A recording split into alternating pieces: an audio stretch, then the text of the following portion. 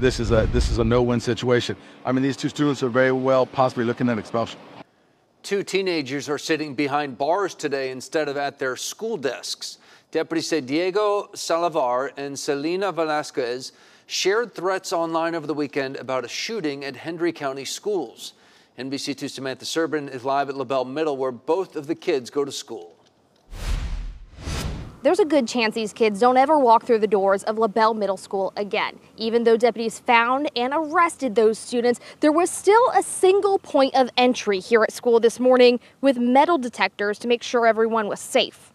Hendry County deputies were front and center outside LaBelle Middle and High Schools Monday, an important site for peace of mind after a social media post circled this weekend about a shooting. Our sheriff is just not going to put up with that. You make these kind of threats and we find out who you are, you're going to jail. Captain Susan Harrell says tips came pouring in through Fortify Florida, a suspicious activity reporting app that sends all information to law enforcement and the school district.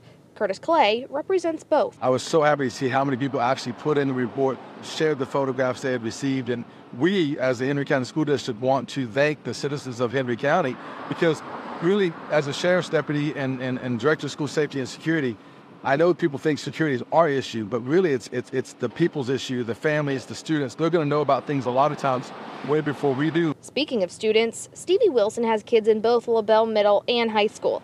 She wasn't sure about sending them in today, despite the fact they wanted to go. So I would have felt a little bit better knowing the exact details, knowing how did we find this out, like what is the credibility of it. The students deputies say made the post were in jail before first bell. Diego Salavar and Celiana Velasquez are both 13 years old. One of them told deputies it was a joke. I don't see where that could fall in line at any kind of, of joking matter. It's not any way you kind of play it out, there's no way you could have it as a joking matter. No, ma'am. Um, in fact, this is pretty sad. I think they think this is some kind of funny drama thing that they can just do it to get out of school or miss school or cause drama. And it, this is not a joke. This is very, very serious. We've had several students that have panic attacks over this. We have to understand that this is real. And real actions come with real consequences. These two are facing a felony. Do you know, did, the, did either of those kids have access to weapons? Do you know? I believe one of them did.